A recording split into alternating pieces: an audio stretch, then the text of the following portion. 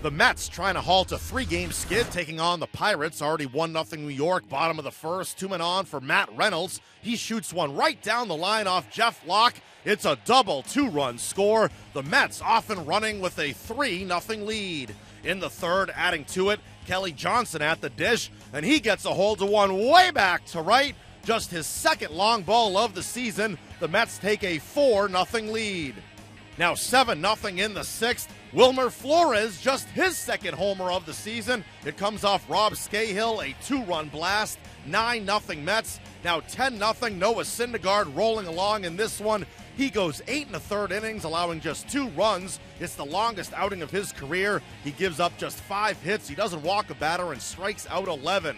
Mets go on and win it by a final of 11 to 2, snapping a three game skid. Wilmer Flores finishes with two hits and four RBIs. Yoenis Cespedes, three hits and three runs scored.